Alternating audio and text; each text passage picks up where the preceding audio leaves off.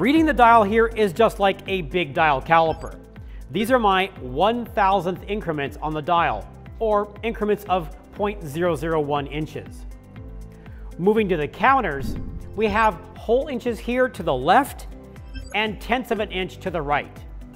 So checking that same 2.270 dimension, as we descend from above the part, we see 2 inches in this column and 0.3 inches here on the right-hand column as we get close to the surface.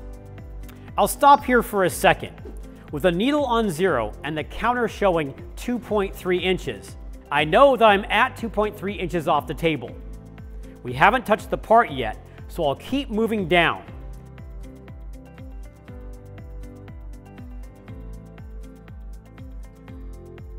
And since we've moved past zero on the dial, we know we're now actually less than 2.3 inches. And as we reach zero on the indicator, we see 0.70 here on the dial, or 2.270 inches. It will probably take a couple measurements before reading these counters will make sense.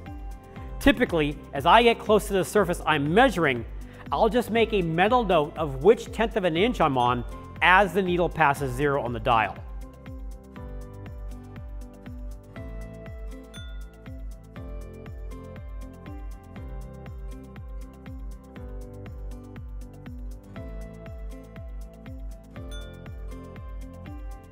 Again, if you're looking for really tight measurements, you should use the height gauge as a transfer stand rather than relying on the readouts themselves.